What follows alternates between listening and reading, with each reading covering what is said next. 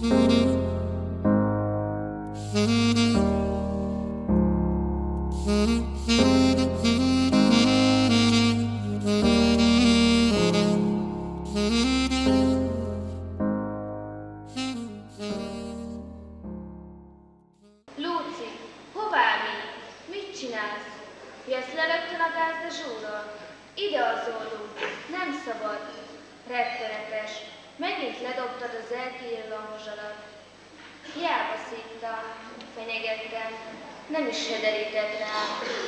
Lépcsőnek használta a könyves polcokat egész délután.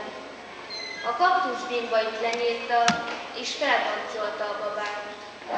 Most nagyobb vagyok, mint te, mondta, s az asztal tetejére. Nem bírtam vele, tönkre nyúzott, de azért tetszett a kicsi. S végül, hogy megrakni ne kelljen, leültem hozzá játszani. Legugoltam, s az óriásból negyedévára fölfele. Mi lenne, gondoltam, ha mindig lent volnál, ahol a gyerek. És ahogy én lekuporodtam, úgy kezdte rögtön a világ.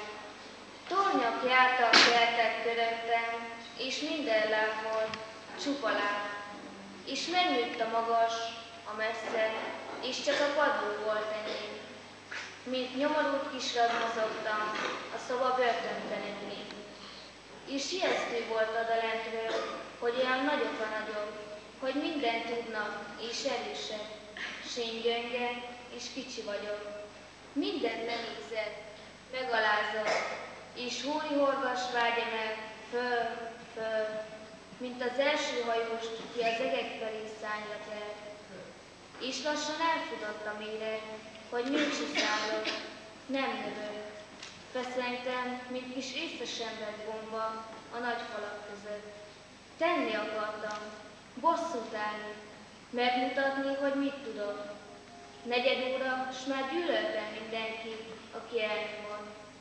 Gyűlöltem, ó, hogy meggyűlöltem.